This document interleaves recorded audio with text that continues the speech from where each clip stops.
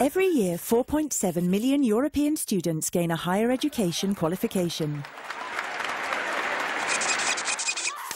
Among them are Anne, the physiotherapist, and Rudy, the baker. They'd like to work in another European Union country, but it often means going through this.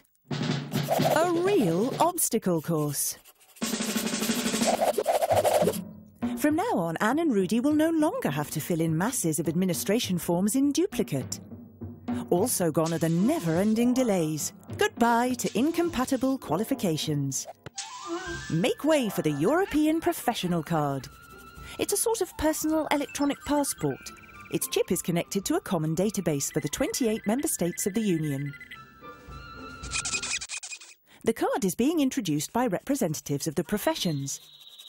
Doctors, carpenters, opticians, restaurateurs, etc. There are over 800 so-called regulated professions. All are concerned, with the exception of notaries. The aim? To simplify recognition of qualifications and professional training. Useful for a baker like Rudy or a hairdresser. Essential when it comes to a physiotherapist like Anne or an architect. This card also carries an alert system. The aim? To prevent professionals who are barred from practicing from freely setting themselves up in another EU country. An essential safety mechanism in the area of health or in the education sector.